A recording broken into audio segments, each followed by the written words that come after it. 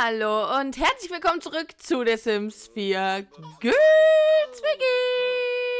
Und hier wird gerade eine kleine, stinkige, eklige Windel gewechselt, die dann einfach mal prompt irgendwo hier in den Raum geschmissen wird. Schön. So, jetzt haben wir natürlich wieder umgekehrte Steuerung von Planet Coaster. Ist natürlich richtig geil. Jetzt irgendwann komme ich gar nicht mehr klar auf mein Leben hier. Ja, jetzt, ihr merkt schon, ist schon wieder ein bisschen, schon wieder ein bisschen verrückt. So, ich guck mal eben, äh, was hier alle machen. Wir waren in der letzten Folge mit Mary bei der Arbeit und Mary ist noch im Arbeitsstress. Wir sind jetzt aber wieder zu Hause und ihr geht es auch soweit ganz gut. Mia müsste auf jeden Fall. Oh, ein Auto.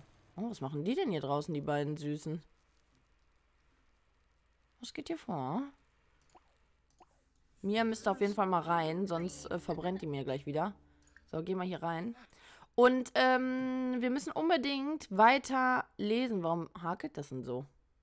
Ah, jetzt geht's wieder, glaube ich. Ähm, wo ist das Buch? Wo ist das Buch? Welches Level sind wir denn jetzt? Wir sind immer noch, ne? Ja. Wir wollen Obervampirin werden, Freunde. Wir brauchen, wir brauchen das Geld. Wir brauchen auf jeden Fall die Punkte. Aber wo ist das Buch jetzt schon wieder? Äh, sie hat schon wieder nicht in ihrem Inventar. Hat das wieder hier irgendwo liegen lassen? Sie kann doch nicht so eine Vampir-Enzyklopädie einfach liegen lassen. Ja, scheint auf jeden Fall so, als ob sie hier nicht mehr wäre. Ich bestelle mal eben ein neues. Ähm, Vampirgeheimnisse. Vampirbücher kaufen. Band 3. Kaufen wir es eben nochmal. Wir haben es ja. Jetzt müsste es ja da sein. Moment, ich guck mal gerade. Nee. Da ist es. Sehr gut. Lesen. Lest das mal lieber, bitte. Das wäre sehr schön, wenn du das machen könntest, liebe Mia, wenn du das mal durchlesen würdest und dann auch mal deine Punkte hier sammeln würdest. Und dann hatte ich eigentlich vor, heute ähm, unsere süße kleine Maus altern zu lassen. Unsere süße kleine Sarah. Die ist ja jetzt auch schon lange genug ein Kleinkind. Und dazu wollte ich mal eben einen Geburtstagskuchen backen. Das kann man eben Mary machen, weil die am besten backen kann. Moment, jetzt wollen wir mal eben gucken. Welche Torte nehmen wir? Den Erdbeerkuchen. Oder ich hoffe, das funktioniert jetzt mal wieder mit dem Kuchen, weil es hat ja in den letzten Folgen äh, weniger gut funktioniert. Außerdem, ähm, Entschuldigt meine Stimme, ich bin gerade erst wach. Außerdem hattet ihr mir äh, wieder in die Kommentare geschrieben und mich hatte jemand gefragt, und zwar die Skill-Playerin HD. Mimi, könntest du jede Girls WG-Folge einen Top-Kommentar vorlesen? War nur so eine Idee. Ja, natürlich können wir das wieder machen. Das ist eigentlich eine gute Idee, weil, ähm, ja, Top-Kommentar ist es ja dann nicht umsonst geworden. Jetzt habt ihr gerade keinen Ton hier, glaube ich. Ah, doch, jetzt wieder. Und der absolute Top-Kommentar war von Zockers Group. Und äh, der oder die hat geschrieben, bitte fahr mal in den Urlaub. Und im Urlaub kannst du dann Mason beißen. Ja, das ist ne, auch eine schöne Idee. Das können wir auf jeden Fall auch mal machen. Allerdings äh, müssen wir ja erst mit Mia noch ein bisschen die Vampir-Skill-Fähigkeiten aufbauen. Du und Ju müssen im YouTuberdorf zusammenkommen. Das hat auch 55 äh, Gefällt mir Angaben. Hat jetzt nichts mit Girls WG zu tun. Und ähm, dann habe ich noch Ich hab dich lieb. Mach weiter so tolle Videos. Wann kommt wieder 100 Baby Challenge? Ja, zu der 100 Baby Challenge. Da unten steht noch was. Superzockerin hat geschrieben. Das äh, erste Kommentar jetzt eben war übrigens von Xenia B. Und äh, jetzt von der Superzockerin. Ich habe ein paar Ideen. Erstens öfter Vampirtraining, zweitens schwimmen gehen, drittens bowlen gehen, viertens öfter ins Restaurant. Ich hoffe, du kannst ein paar Wünsche erfüllen. Ich kann mit Sicherheit ein paar Wünsche erfüllen. Vampirresistenten Cocktail entdeckt, den hatten wir doch schon, oder? Aber sie lernt noch, wenn sie liest. Also, ähm, das kann auf jeden Fall nur noch gut sein. Deswegen machen wir das auch mal weiter. Und du machst hier mal schön deinen äh, Kuchen. Hast du deinen Kuchen schon fertig? Hallo? Hä? Wo hat sie denn jetzt den Kuchen hingestellt? Da ist er auf jeden Fall nicht drin. Hat sie ihn jetzt hier reingetan? Öffnen. Da ist er doch. Sehr gut. Warte mal, dann stellen wir den mal hier hin. Dann machen wir mal da Geburtstagskerzen hinzufügen. Mia hat sich alle Informationen dieses, Buchen, dieses, Buches angeeignet. Wenn sie ihre Forschung fortsetzen möchte, sollte sie am Computer der Vampirgeheimnisse die Ulti der ultimative Vampir bestellen. Das machen wir jetzt auch mal direkt. Jetzt oder nie. So, warte. Vampirgeheimnisse, Vampirbücher kaufen, der ultimative Vampir. 1000 Dollar. Oder Simoleons. Das nehmen wir jetzt auf jeden Fall mal. Und dann kann sie das nämlich auch direkt anfangen zu lesen. Weil ich will jetzt mal endlich da weiterkommen. Wir haben noch nichts erreicht im Vampir-Business. Ist ein bisschen traurig. So, Mary. Du kannst mal bitte Sim altern lassen. Nee. Die auf jeden Fall nicht. Helfen beim Kerzenausblasen Sarah. So. Hol dir mal die Sarah und dann mach das mal bitte. Ich bin mal gespannt, ob das jetzt funktioniert hier. Oder ob das immer noch kaputt ist. Das weiß ich nämlich nicht so genau. Irgendwie funktionierte das ja in den letzten Folgen nicht so wirklich. Und da mussten wir über den Cars altern lassen. Und ich habe gelesen, dass das nicht nur ich habe, das haben äh, viele andere von euch auch. Und das ist natürlich scheiße. Das scheint irgendwie ein Bug zu sein, der mit irgendeinem Update kam. Und jetzt macht sie auch schon wieder nicht wirklich irgendwas. Hm. Die Geschichte des ultimativen Vampires. Dieses Kapitel widmet sich detailliert Vampiren, die im Sonnenlicht umherspazieren. Der Sonnenwende-Cocktail verleiht vorübergehende Immunität gegen Sonnenlicht. Vampire, die Sonnenresistenztraining halten es sogar noch länger in der Sonne aus. Okay, ich glaube, da können wir auch ein paar wertvolle Tipps uns noch aneignen. Die muss man aufstehen jetzt hier. So, warte mal. Jetzt holt sie die, ne? Hochheben. Jetzt bin ich mal gespannt, ob das jetzt wieder funktioniert oder ob das jetzt einfach wieder gar nicht geht. Es ist manchmal echt so scheiße. Ich verstehe gar nicht, warum das nicht funktioniert manchmal. So, Trank der Neuordnung entdeckt. Mia hat erfahren, dass es ein Getränk gibt, mit dem Vampire alle ihre Kräfte zurücksetzen können. Sie kann jetzt an der Bar den Trank der Neuordnung zubereiten. Mhm, mhm. Okay.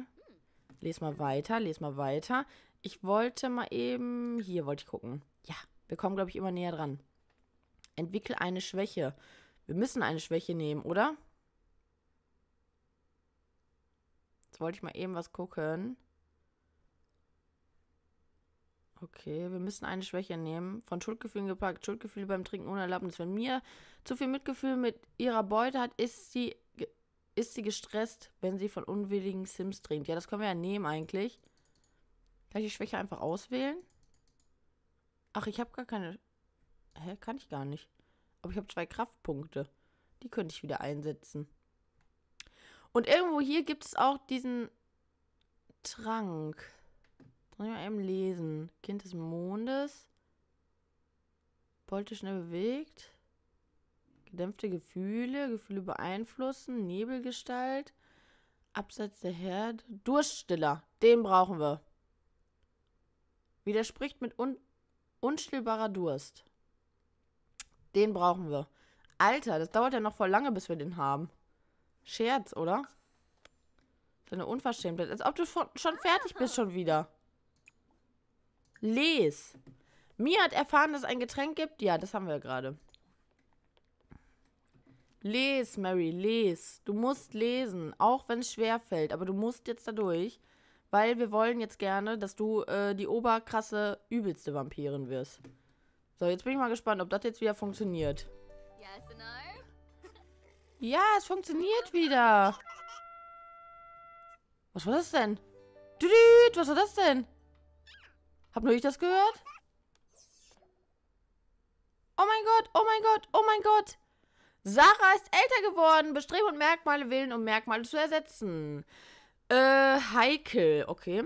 Sarah hat mit ihren Kleinkindfähigkeiten ein Bonusmerkmal verdient. Die Bonusmerkmale von Sarah findest du in der Semiologie. Kindheit, unendliche Kreativität, Regelverstöße und Wutanfälle warten. Möge das Spiel beginnen. Sozial 2, Kreativ 1, Motorik 2, Mental 2. Okay. Also jetzt nehmen wir erstmal hier so ein. Warte mal. Kann ich nochmal zurück? Was hat sie denn gut? Sozial hat sie 2, Motorik hat sie 2, Mental hat sie 2. Hm. Machen wir mal sozial, oder? Liebling der Massen, das finde ich irgendwie schön. Und wir nehmen als zweites Merkmal. Oh Mann, das ist immer so schwierig. Hm. Sollen wir sie auch als Vielfraß machen wie ihre Mutter? Komm. Wir machen sie auch als Vielfraß wie ihre Mutter. Oh, sie süß. Sarah Gott, wie niedlich. Jetzt brauchen wir für sie auch ein neues Bett, ne? Fällt mir gerade mal ein. Moment, dann müssen wir das mal eben äh, hier umbauen. So, oh, Moment, Moment, Moment. Runter, runter, runter. Das verkaufen wir mal. Und dann gucken wir mal, was es hier noch so für Betten gibt. Für die gute Sarah. Wir nehmen natürlich ein schönes. Das ist doch hier ganz kuschelig. Gibt es ein rosa oder sowas? Hier so. So ist doch süß.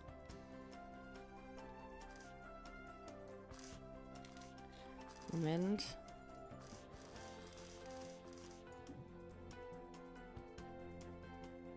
So, sehr schön. Dann haben wir das nämlich auch. Dann hat sie jetzt auch ein Bettchen, wo sie drin schlafen kann. Da kann sie sich jetzt auch von mir aus direkt reinlegen. Nee, warte mal. Bevor wir sie jetzt da reinlegen, würde ich vielleicht gerne mal eben noch ihr Outfit ändern. Das machen wir mal kurz noch. Outfit planen. Aber sie ist süß. Sie ist sehr süß. Jetzt haben wir wieder zwei Kleinkinder. Oder zwei Kinder. Vorher hatten wir zwei Kleinkinder. Jetzt haben wir auf jeden Fall weniger Stress, weil die Kleinkinder sind halt schon sehr stressig. Ich muss mal eben gerade einen Schluck trinken. Moment. Ah, ich habe mir nämlich hier so einen Kaffee gemacht. Und wenn der kalt wird, schmeckt der auch nicht mehr, ne? Jetzt gucken wir mal gerade für Frisuren. Ah, oh, guck mal, wie süß. Von wann ist das denn? Ach, von Familiendings ist ja ist die Frisur. Die ist ja voll niedlich. Sollen wir die nehmen? Die finde ich ja völlig putzig. Die finde ich ja auch süß mit den Nüppels da oben. Es gibt sonst noch so... Ja, sonst hatten wir diese Standardfrisuren, hatten wir ja alle schon, ne? Ich würde sagen, wir nehmen die einfach mal, weil die so süß ist. Sie kann ja ruhig so Rasterzöpfchen mal haben. Macht ja nichts. Warte mal, wir müssen mal bei Tagesoutfit gehen und da müssen wir ihr die auch mal machen, weil sonst hat sie die ja nachher wieder nicht überall. Wo sind die denn jetzt? Da, genau. Und dann ziehen wir ihr mal eben was Vernünftiges an. Ich schau mal eben gerade, was es da so gibt. Mittlerweile haben wir da ja auch sehr viel Auswahl. Das ist irgendwie cool hier. Die Jacke finde ich sehr cool, aber ich finde auch hier diesen Pulli sehr cool. Obwohl der eher aussieht wie so ein Jungspulli, oder? Nö, es geht eigentlich. So einen ähnlichen habe ich tatsächlich auch. Warte mal, wir nehmen einfach mal den. Wir können ja noch ein anderes Outfit wählen.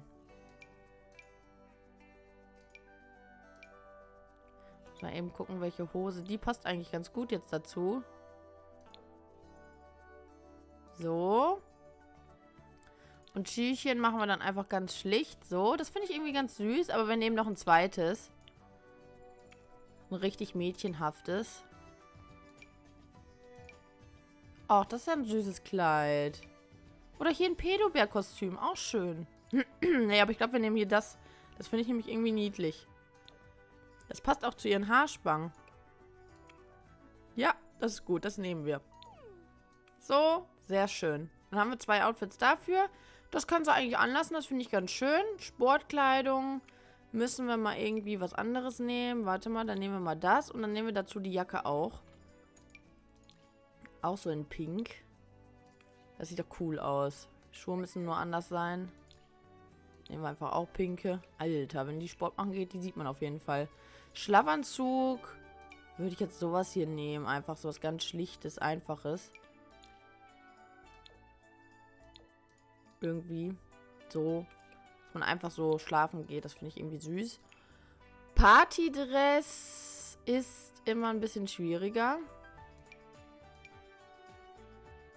Finde ich das auch sehr niedlich. Das passt irgendwie zu ihr. Nehmen wir mal das. Und Schüchen ziehen wir ihr diese hier an in blau. Finde ich auch sehr süß. Und schwimmen müssen wir eigentlich... Schwimmen nehmen wir einfach Tankini hier so ein. Lassen wir auch den blauen, weil das auch gut zu ihren Haarspangen, äh, Haarspangen passt. Sehr gut. Wir können auch mal öfter, wir müssen mal öfter schwimmen gehen, ne? Müssen wir wirklich mal. Wir gehen nie schwimmen, weißt du, wir haben einen mega Pool, aber gehen nie schwimmen. Wir bräuchten noch so eine Wasserrutsche oder sowas. Ich meine, wir haben ja eine Wasserrutsche, aber so eine richtige Wasserrutsche, weißt du, die, wo man so draufklettern muss und wo die dann so runterrutschen. Das wäre noch cooler.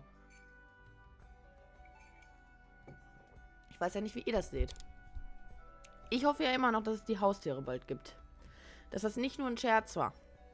Das wäre auf jeden Fall ganz wunderbar. Also wenn es Haustiere gibt, Freunde, dann raste ich aus. Heute kommt übrigens eine hammerkrasse Folge Life is Strange. Solltet ihr unbedingt einschalten. Äh, wir spielen die neue Episode, Episode 4. Und die ist einfach nur crank. Ich glaube, äh, die wird richtig hart für uns und schlimm, weil äh, die fängt schon schlimm an, finde ich. So, dann nehmen wir uns mal ein Stückchen Kuchen. Ein Stück nehmen, Hauptsache 1 Uhr nachts, weißt du alle, nee, du nimmst jetzt kein Stückchen mehr, du gehst ins Bett. Genug Geburtstag gefeiert. So, du gehst ins Bett und du gehst auch mal ins Bett, mein junger Freund. Er ist auch noch wach. Alter! Jesus! Mir hat den ultimativen Vampirgeheimnis. Mir hat das ultimative Vampirgeheimnis entschlüsselt. Die Heilung vom Vampirismus. Sie kann jetzt die ultimative Vampir. Den ultimativen Vampir-Heiltrank an der Bar zubereiten. Es gibt jetzt nichts mehr, was mir noch über Vampire lernen könnte. Okay, das ist einfach nur krass. Und wir haben es immer noch nicht geschafft. Scheiße! Mann! Los, Mia! Es hört nicht auf. Setz dich an PC. Üb, lern, les. Die Geschichte des ultimativen Vampirs. Hier steht, dass die meisten Vampire kein Haus betreten können, ohne zuvor eingeladen worden zu sein. Mia sollte diese Willkommen-Fußmatte vielleicht noch überdenken, nochmal überdenken. Wir haben keine Willkommen-Fußmatte. Hier ist keiner willkommen. So, ähm. Weißt du was? Wir kaufen uns mal hier diese ganzen Samen. Dann nehmen wir mal zwei von. Und dann nehmen wir noch mehr. Warte, wir nehmen Plasmafrüchte, nehmen wir auch zwei von. Ich will das nämlich alles haben. Oh ne, Plasmabeutel wollte ich jetzt nicht bestellen. Moment. Ähm, und Eisenhutsamen, die nehmen wir auch zweimal. Sau teuer, diese Samen, aber gut. Ich hoffe, die lohnen sich wenigstens. Die können wir. Sollen wir die direkt hier vorne hinpflanzen? Oder sollen wir die lieber hier hinten, so heimlich hinpflanzen? Hier haben wir auch noch einen Pflanzenkorb. Ich glaube, wir pflanzen die lieber hier hinten so hin, oder? In den Pflanzenkorb würde ich sie jetzt vielleicht auch nicht reinpflanzen. Da können wir vielleicht ganz normale Sachen reinpflanzen. Aber, ähm, so hier finde ich das vielleicht nicht schlecht. Warte mal. Samenpaket öffnen, Samenpaket öffnen. Öffne die mal.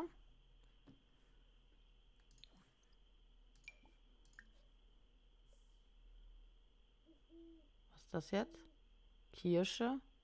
Eisenhut. Das würde ich da gerne... Machen wir einfach mal dreimal. Ähm... Moment, jetzt will ich mal eben gucken. Wir haben auf jeden Fall noch mehr. Plasmafrüchte waren das noch. Und was war das noch? Samenpaket öffnen.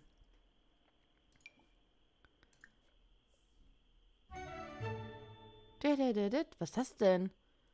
Och, die sehen aber schön aus. Guck mal. Stellen wir mal hier hin und hier hin. Und wir hatten noch irgendwelche... Da, die hatten wir noch, genau. Was auch immer das war. Oh. Stopp. Ach mal, das war mein Wecker hier, Freunde. Hat sie jetzt den Samenpaket geöffnet? Den Samenpaket? Was ist das denn hier? Sixam Moskitofallensamen. Alter, was es alles für komische Samen hier gibt, hör mal. Das war's, glaube ich, ne? Mehr hatten wir nicht. Was ist das hier? Plasmafrucht. Okay, die hatten wir schon. Gut. Dann, äh, Mia, kommst du mal bitte und kannst du die mal bitte hier als Fledermaus hier hinfliegen? Komm mal bitte hier hin. Gerade. Komm mal bitte hergeflogen. So, und dann kannst du mal... Das ist irgendwie so cool, oder? Dass sie das einfach kann, ey. Dann kannst du das mal alles hier einpflanzen, bitte. Und da müssen wir uns auch wirklich drum kümmern, dass das hier auch alles wächst und gedeiht. Da kann sich auch die Dingens mal drum kümmern. Pflanzen, Pflanzen. Die Mary kann sich da auch mit drum kümmern, weil die ist ja so ähm, affin für sowas. Was haben wir hier? Eine Kirsche. Die können wir hier einfach mal einpflanzen. Hier haben wir nämlich noch gar nichts drin in den Dingern. Dann machen wir hier nochmal ein bisschen Basilikum. Was haben wir sonst noch so, was wir noch einpflanzen könnten? Was ist das? Brombeeren finde ich schön. Hm, haben wir sonst noch was? Hier diesen Holunder oder was auch immer es sein mag. Können wir auch mal einpflanzen. Sowas haben wir hier auch gar nicht. Haben wir sonst noch irgendwas Cooles? Das Gefühl, ich scroll immer zehnmal dasselbe hier.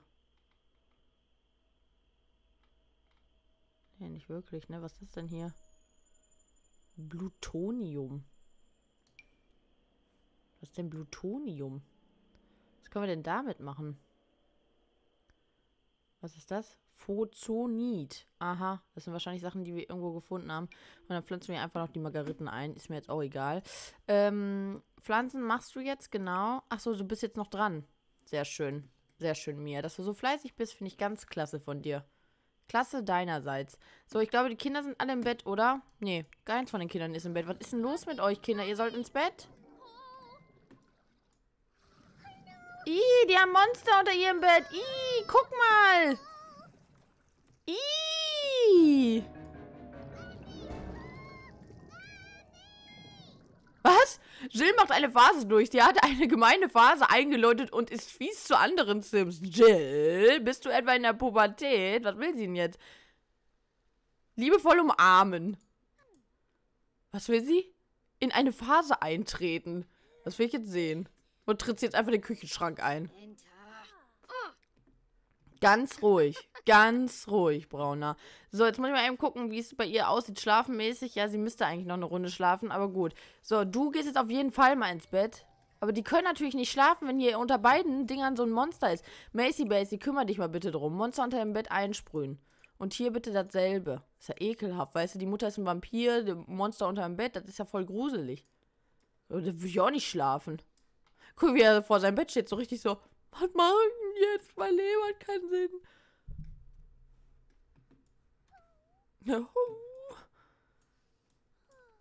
Ja, machst du nix? Machst du einfach nix? Macy Basie, kommst du jetzt oder was machst du da jetzt? Ah, Macy Basie ist auf dem Weg, der muss mal pipi, deswegen ist er so langsam. So, du, kleine Maus, was willst du denn machen? Plaudern. Ich glaube, ich würde jetzt nicht mit ihr plaudern. Sie ist gerade in so eine Phase, wo sie gerne auch mal Sachen eintritt. Hallo. Bitte ruhig bleiben. Ach, guck mal. Aber die beiden haben sich trotzdem lieb. So ist das richtig, oder? So, Witz über Enten erzählen, das machen wir jetzt mal. Wir erzählen hier noch einen super lustigen Witz über Enten. Ja, Freunde, dann haben wir viel in dieser Folge geschafft, würde ich sagen. Ich weiß nicht, wohin die Kinder jetzt gerade wieder rennen. Was steht da? Angst vor Monstern, weil Monster unter dem Bett gesehen hat. Was ist das für ein unheimliches Geräusch? Ist da etwas unter dem Bett? Ich schwöre dir, würde ich sowas in meinem Bett sehen oder unter meinem Bett, ich würde nie wieder in diesem Haus schlafen. Ich würde ausziehen sofort. Was will sie denn jetzt aufwecken? Ach, guck mal, die beiden. Die beiden rennen direkt zu Mary so, oh, da ist ein Monster unter meinem Bett. Ich weiß gar nicht, warum Mary hier auf der Couch pennt. Kann sie nicht da hinten in ihrem Bett schlafen? So, warte mal, wir schicken die da mal hin. Irgendwie ist hier alles falsch und verkehrt. Ne? Eigentlich wollten wir ja mal wieder einen normalen äh, Alltag hier reinbringen kriegen wir irgendwie gerade nicht so richtig hin. Es ist aber Samstag, wir können das noch kitten. Äh, Moment, du gehst mal eben jetzt hier auf Klo, weil du dringend pipi musst und dann kannst du gleich mal unten noch was essen. Aber das machen wir in der nächsten Folge, liebe Freunde. Ähm, ich hoffe natürlich, euch hat die Folge von der WG mal wieder gefallen. Wir haben heute ein paar Sachen erreicht. Wir haben zumindest dieses Vampirbuch durchgelesen und ein paar Pflanzen eingepflanzt. Wir haben Sarah altern lassen und Jill ist in eine pubertätsähnliche Phase äh, geraten. Aber das werden wir alles noch hinbekommen. Und ja, Lasst mir gerne einen Daumen nach oben da und ein Abo, falls ihr mich noch nicht abonniert habt. Und ich wünsche euch jetzt einen wunderschönen Tag und ich sage bis demnächst. Haut da rein. Tschüssi.